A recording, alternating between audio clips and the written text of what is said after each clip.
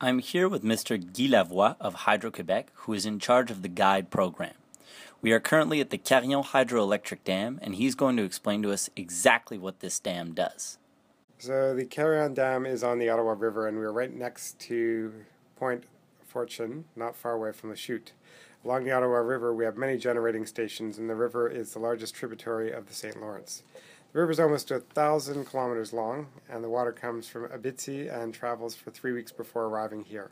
It's the last generating station before the water makes its way to the St. Lawrence. Can you explain what the power generation for the dam is? In megawatts, I'm assuming? Yes, so we have 14 turbines which can generate up to 753 megawatts, which funnels energy into the Hydro Quebec grid. Did you have to flood an area in order to build a dam like this one? Yes, on our site there is a lock that is owned and operated by Parks Canada for pleasure craft. Before the construction of the dam, there were many rapids in the area.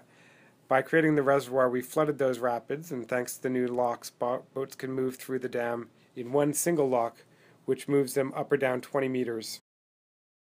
Okay, what year was the dam built in?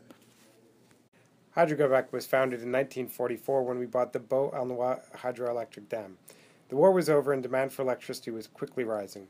Hydro-Quebec went to the northeastern coast to build a hydro dam called the Ber- and at the end of the 50s we started working on the Carillon Dam. The final turbine went into service in 1964.